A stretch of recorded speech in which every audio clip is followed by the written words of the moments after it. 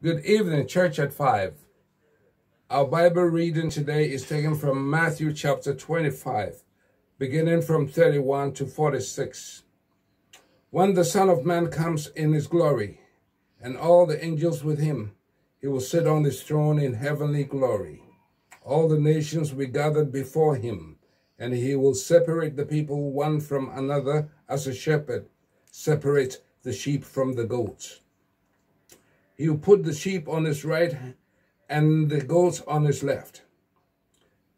Then the king will say to those on his right, Come, you who are blessed by my Father, take your inheritance, the kingdom prepared for you since the creation of the world. For I was hungry, and you gave me something to eat. I was thirsty, and you gave me something to drink. I was a stranger, and you invited me in. I needed clothes, and you clothed me. I was sick, and you looked after me.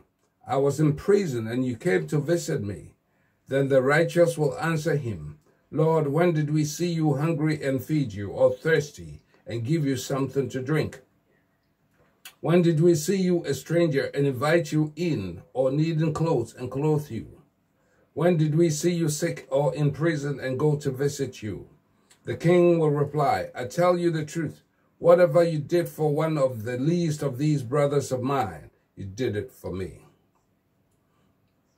Then he will say to those on his left, Depart from me, you who are cursed, into the eternal fire prepared for the devil and his angels. For I was hungry, and he gave me nothing to eat.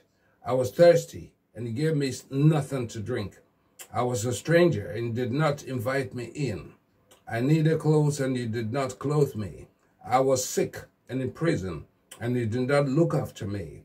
They also will answer, Lord, when did we see you hungry or thirsty or a stranger or needing clothes or sick or in prison and did not help you? He will reply, I tell you the truth, whatever you did not do for one of the least of these, you did not do for me. Then they will go away to eternal punishment, but the righteous to eternal life. Hallelujah. Amen.